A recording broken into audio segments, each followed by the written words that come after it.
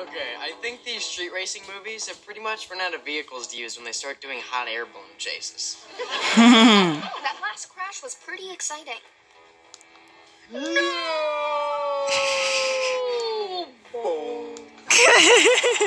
Avery seeing this guy. Charming, unassuming personality, kind eyes, and smile that lights up a room. Blah, blah.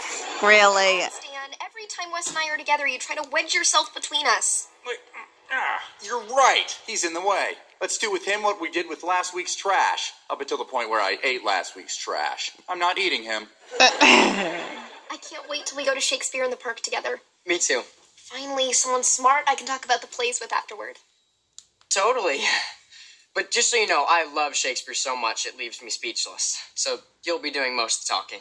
I should be going. Oh, parting is such sweet sorrow. I was trying to think of a way to say goodbye, and you just nailed it. Oh, wait, that was Shakespeare, right? Of course. Look at us. Talking about him already.